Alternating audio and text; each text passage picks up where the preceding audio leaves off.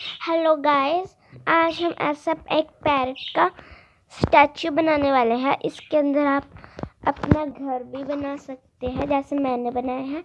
तो चलिए शुरू करते हैं।